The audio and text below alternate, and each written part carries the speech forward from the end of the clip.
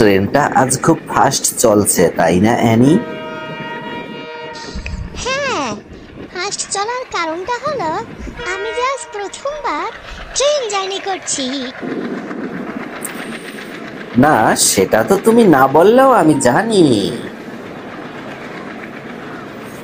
তোমার কি ক্লান্তি লাগছে অ্যানি? একটু কফি খাবে না আর কফি খেতে চাই না। তুমি দেখো না কি সুন্দর লাগছে প্রকৃতি। মনে হচ্ছে আমাদের সাথে সাথে সবুজ গাছপালাগুলি কত গতি নিয়ে ওদের গন্তব্যে ছুটে চলছে। হ্যাঁ তাই। এজন্যই ট্রেন জার্নি সবার কাছে ভালো লাগে। আমি ভাবছি, তুমি এত জার্নি করতে পারবে তো?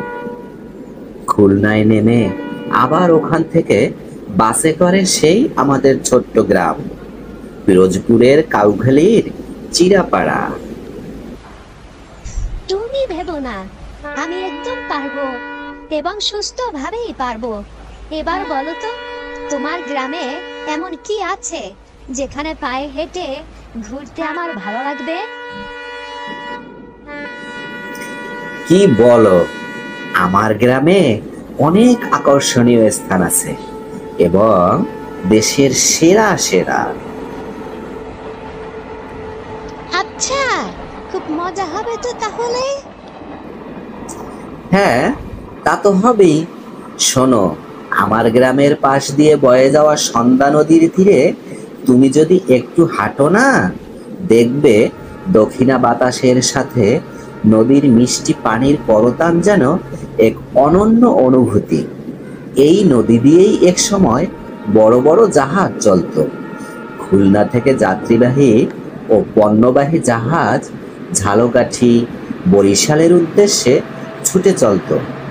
আহ শুনেছি কত ব্যস্ততম নদীপথ ছিল এক সময়।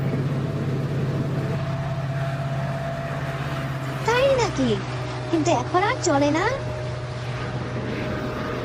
না এখন আর চলে না। এখন আর নেই আমাদের সেই নদীর পাড়ের তালুকদার বাড়ির শান বাঁধানো ঘাট। নেই আমাদের নদীটির নাব্যতা।